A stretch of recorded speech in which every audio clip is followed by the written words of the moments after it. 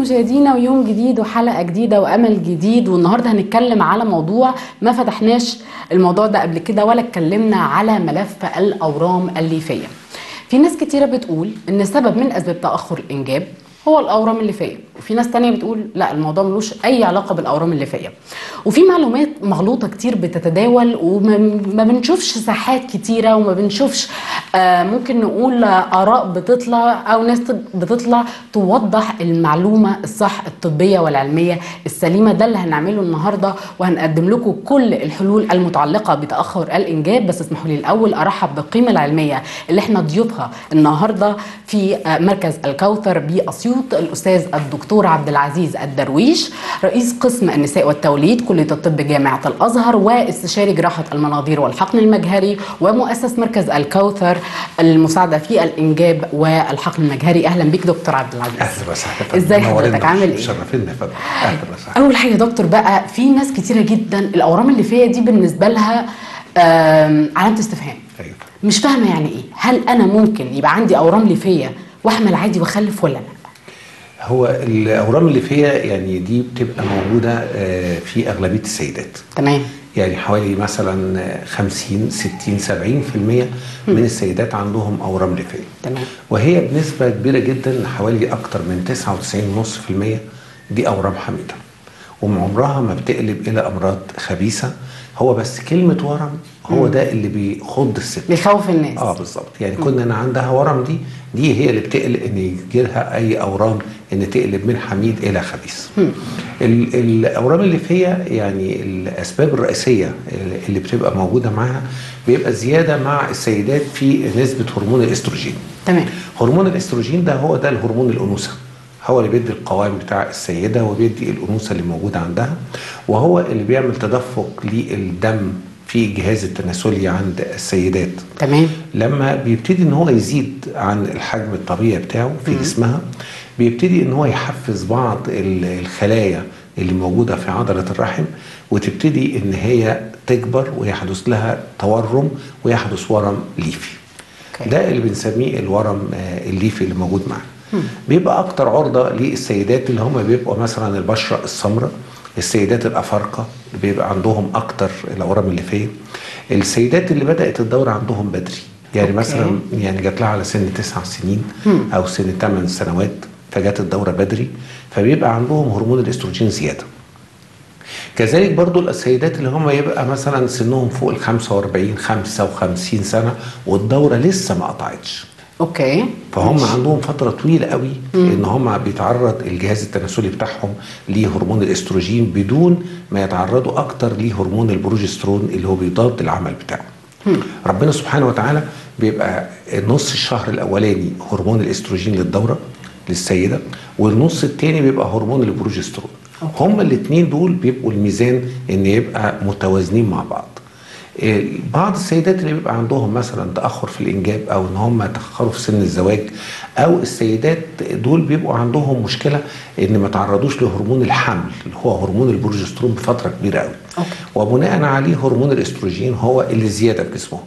وبناء عليه بيبتدي الغدد اللي موجودة أو الألياف اللي موجودة في عضلة الرحم تتحفز وتبتدي إن هي تقلب إلى ورم آه، ليفي موجود عندهم.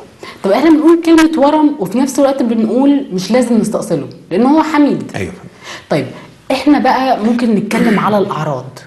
بيحسوا بإيه؟ الست بتحس بإيه؟ آه هي الأعراض بتاعتها 50% ما بيشتكوش من حاجة. ولا أي حاجة. ولا حاجة. ويحملوا ويولدوا وما فيش مشكلة. وما نكتشفش الكلام ده خالص غير بالصدفة البحتة. يعني مثلا واحدة مثلا بتركب لولب. أو واحدة مثلا حضرتك عندها التهابات. وتبتدي إن هي تكشف. فالدكتور بتاعها بيعمل لها سونار فيلاقي إن في موجود عندها آه، لوفة موجودة في الرحم أو ورم ليفي موجود في الرحم. آه، يعني لما بتبقى حاجة زي كده وصغيرة ما بنحاولش إن إحنا نقلقها كتير قوي. ولذلك حتى بعض السيدات بقول لها يعني أنت عندك دلوقتي أنا بحب إن أنا أقول لحضرتك إن في ورم ليفي مثلا حجمه 3 سم في 3 سم أو 4 سم ملهوش أي تأثير. خوفا من إن أنت مثلا لأي ظرف من الظروف تروحي في مكان تاني موجود ويبتدي إن أنت تتخيلي إن ده الورم الليفي ده مؤثر عليكي. فمهم جدا إن إحنا نبقى عارفين المكان بتاع الورم الليفي ده فين okay. الحجم بتاعه قد إيه العدد بتاعه قد إيه. ده اللي يعني لازم- بيحدد إذا كان هستأصله ولا لأ. بالظبط. يعني okay. أنا عندي ثلاث أسئلة بسألهم لنفسي. يعني المكان فين العدد والحجم. okay. لو كانت هي بتفكر مثلا في موضوع الإنجاب ال- المكان ده مهم قوي. لو كان في تجويف الرحم اللي هو المكان اللي هيبقى فيه البيبي لا ده لازم يستأصل. تمام. يعني لأن هو ده المكان بتاع الجنين نفسه. لو مثلا عندي عدد كبير جدا من الأورام الليفيه ومؤثرة برضو على تجويف الرحم okay. ده برضو لازم إن إحنا نستأصله. الورم الليفي ده عامل انسداد في قناة فالوب. يبقى ساعتها القناه القناه الأنابيب نفسها بتاعت السيدة دهيت هيبقى مسدودة. دي لازم إن إحنا نستأصل. تمام. طب افترض أورام ليفيه موجودة في خارج عضلة الرحم أو في عضلة الرحم ومش مؤثر على تجويف الرحم. فده ملوش أي أي تأثير معانا. تمام. ولذلك إن إحنا عندنا في مشكلة كبيرة قوي إيه بقى؟ بعض السيدات عندهم أورام ليفيه تمام. عندهم تأخر في الإنجاب. فدخلوا يعملوا عملية برضو إزالة للأورام الليفيه شالوا الأورام الليفيه وما يزال عندهم تأخر تأخر في الإنجاب. آه. هو هو. يبقى لأن هو مش ده السبب. لأن تأخر الإنجاب اللي عندها ما كانش سببه الأورام الليفيه فخدت المضاعفات بتاعه العملية بدون ما تاخد مزايا آه صح. موجودة عندها. لأن هي ما عندهاش خبرة. هل ده مثلا المفروض إنها اشيله ولا لأ؟ يعني هو الطبيب لازم نفسه. هل إن هو قبل ما يقرر إن إحنا نشيل الورم الليفي نسأل نفسنا. هل الورم الليفي هو سبب لتأخر الإنجاب؟ ولا مش هو السبب. لو مش في المكان والحجم الطبيعي. والعدد والأرض ده يبقى لا. يبقى لا. يبقى ما شيلهوش انت لما تشيله بتاخد هي المضاعفات اللي موجوده فيه. هنتكلم على طرق. آه، طرق التشخيص بقى باستفاضة عشان في ناس كتير عايز تعرف طب إزاي أعرف بقى والدكتور هيعمل إيه بالظبط. بس بعد تقرير صغير جدا.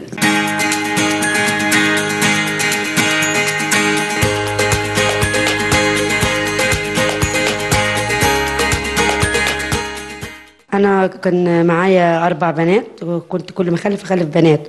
جيت عند الدكتور عبد العزيز حددنا نوع الطفل وربنا كرمني بياسين الحمد لله. آه، راجل ممتاز خالص وراجل كويس وبنصح الناس كلها تيجي هنا. اسمي شهادة عبد العال حسن حضرتك ومتزوجة لي 13 سنة معي ثلاث بنات وجوزي كان نفسه في ولد. فجيت هنا عند الدكتور عبد العزيز هي سنة واحدة بس. والحمد لله ربنا كرمني بإسلام وألف حمد وشكر.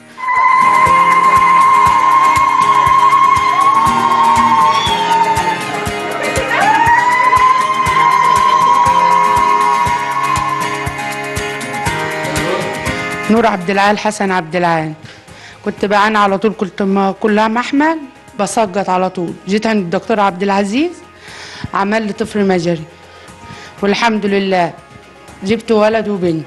أنا فاطمة محمد مصطفى كنت لي أربع سنين ما بخلفش والحمد لله جيت عند عبد الدكتور عبد العزيز وربنا كرمني ببنت زي العسل. الحمد لله رب العالمين عندنا تيم فريق آه، في العيادات قوي جدا الحمد لله بن آه، بنتعامل مع المريض كويس بنستقبل المريض كويس.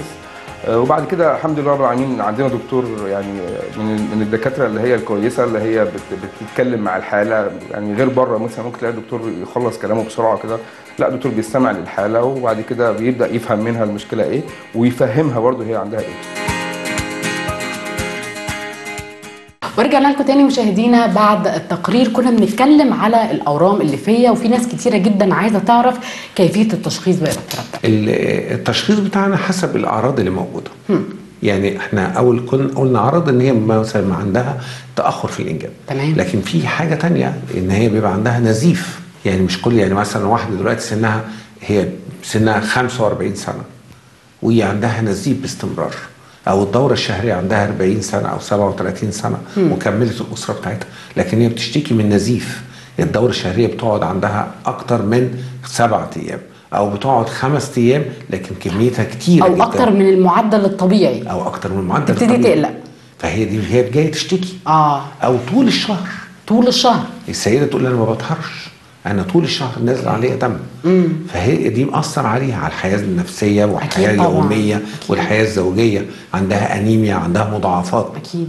وبرضه تاني يعني قبل ما نقول إن الورم الليفي هو سبب النزيف ده لازم قبل ما نقول إن إحنا نشيله لازم نقرر هل هو ده سبب رئيسي؟ طب إيه إيه السبب التاني اللي ممكن يبقى؟ ممكن اضطرابات في الهرمونات. okay. ممكن عندها مشاكل في المبايض. السيدة دهيت. يعني الورم الليفي مش الورم الليفي. مش الورم الليفي لأن برضه ممكن إن هي تشيله ويبقى برضه مستمر عندها النزيف. يعني لازم نشخص كويس عشان نقرر خطة العلاج بالنسبة لهذه السيدة. طب أول حاجة قالتها إن لا أنا بقالي مثلا آه، عندي النزيف بقالي فترة طويلة ال period بقت تنزل بشكل آه، فظيع وفي ألم وفي وفي. إيه تاني؟ إيه تاني من الحاجات اللي ال- بتقولها؟ اللي هي ممكن يكون عندها آلام. بس هي الآلام اللي موجودة في الأورام الليفيه أقل عارفة حضرتك لما كان في حلقة مثلا بطانه رحم المهاجره كان كل الحدوتة كلها رقم واحد الألم. صح. الأورام الليفيه ما تعملش آلام كتير. okay. لكن تعمل آلام مثلا مزمنة. لو كبر حجم الرحم ده وصل لحجم كبير قوي وضغط على ال- المثانة البولية فبتلاقي السيدة دي بتدخل التواليت كتير. فهي دي باستمرار عمالة رايحة جاية على الحمام. okay. أو إن مثلا ضاغط على المستقيم فعندها هذه السيدة عندها مثلا تعب في عملية الإخراج موجودة عندها أو ألام في الظهر أو ألام في الحوض أو ألام مع الدورة الشهرية. لكن آلام اللي موجودة في الأورام الليفيه أقل حدة بكتير بمراحل كتيرة جدا من اللي هي بطانة الرحم آه، المهاجره هي ممكن تيجي بشكوى واحدة من دول ولا لازم يبقى أكتر من شكوى؟ لا ممكن يبقى بشكوى واحدة. بشكوى واحدة بس. آه. أو إن إحنا زي ما قلت لحضرتك نكتشفه بال...